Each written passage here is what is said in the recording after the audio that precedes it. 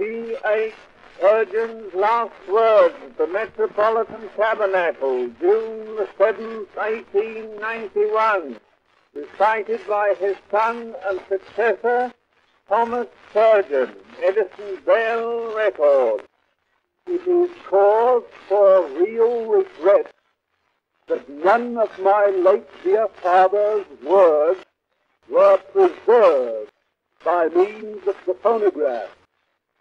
Perhaps the next best thing is for me, his son and successor, to repeat what proves to be his parting message.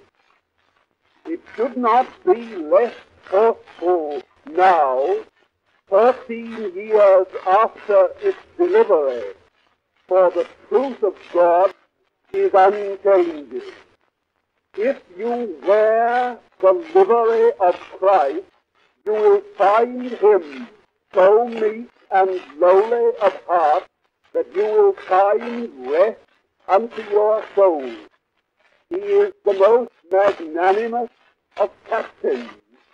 There never was his like among the choicest of princes. He is always to be found in the thickest part of the battle. When the wind blows cold, he always takes the bleak side of the hill. The heaviest end of the cross lies ever on his shoulders. If he bids us carry a burden, he carries it also. If there is anything that is greater, generous, kind, and tender, yea, lavish, and superabundant in love, you always find it in him. His service is life, peace, joy. Oh, that you would enter on it at once.